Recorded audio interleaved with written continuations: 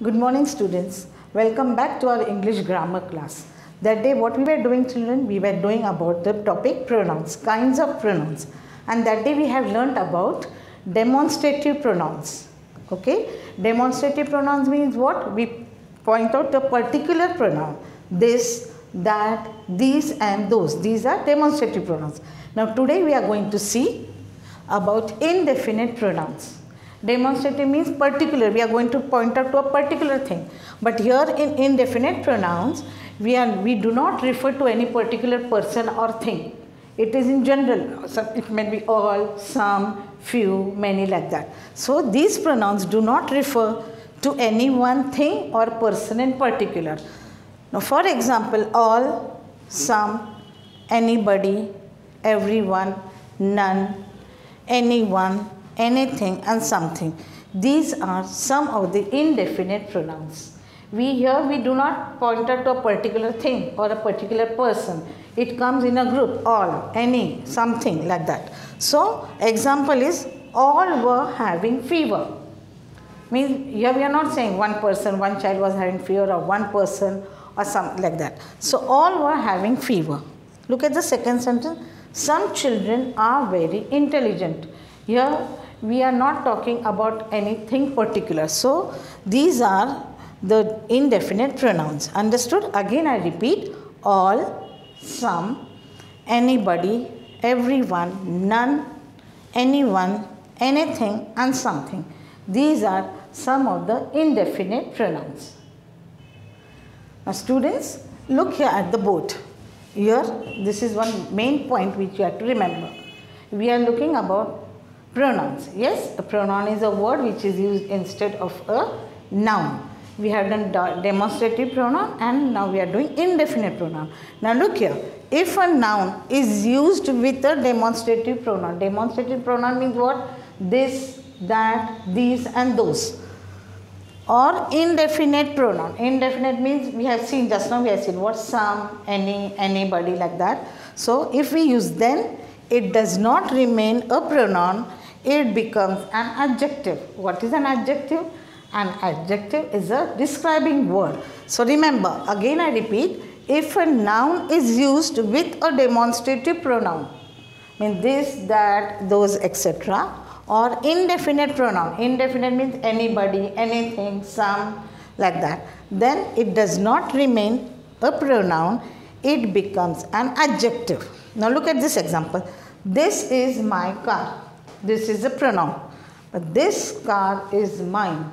This becomes an adjective. Understood children? Now let us come to the third type of pronoun that is reflexive pronoun. These pronouns are formed by adding self, S-E-L-F, self or selves, S-E-L-V-E-S, selves to the personal pronouns. Again I repeat, these reflexive pronouns are formed by adding self or self to the personal pronoun. Now, which are the personal pronouns?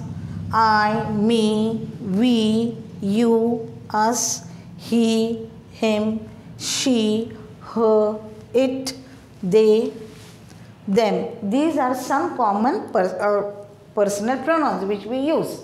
So, when we are going to use these personal pronouns, into reflexive, we use either self or selves. It depends on the sentence. Understood? Now look at the first sentence. I hurt myself.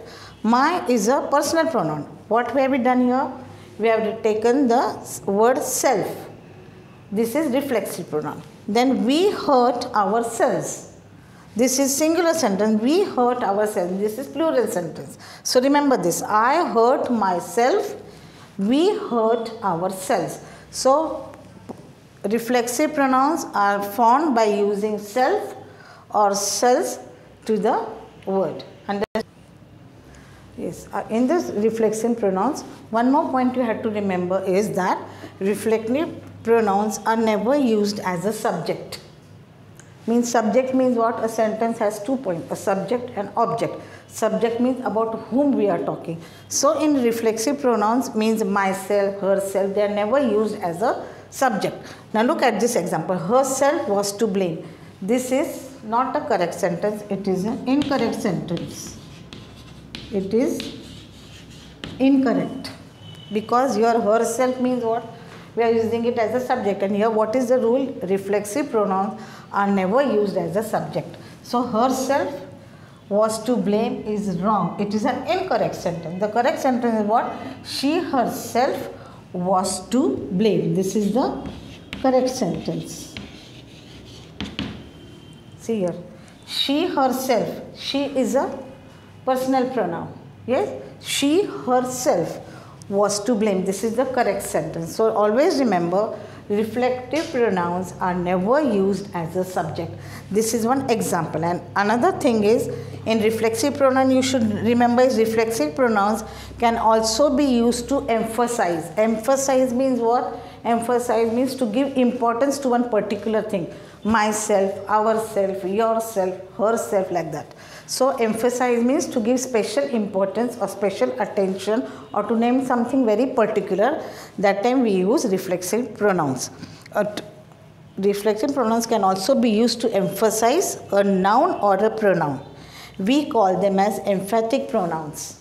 Understood? Again I repeat, reflexive pronouns are can also be used to emphasize. Emphasize means to give special importance or to give some special attention to a noun or a pronoun. They are called as emphatic pronouns. Now I'll write few sentences on the board then you can understand it. Now look at the sentences on the board.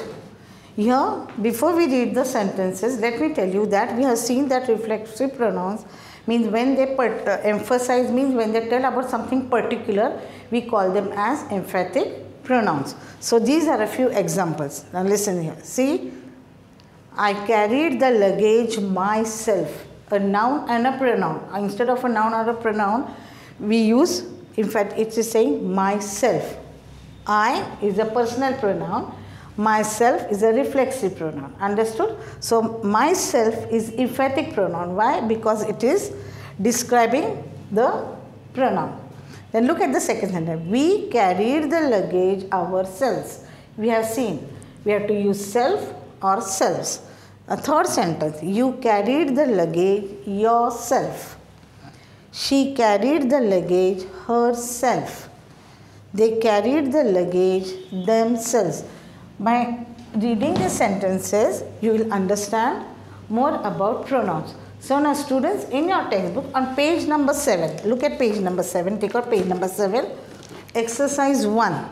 Fill in the blanks with suitable reflexive or emphatic pronouns. Understood? So this exercise you will solve in the textbook itself. If you have any doubt, you can ask me. Bye. Take care.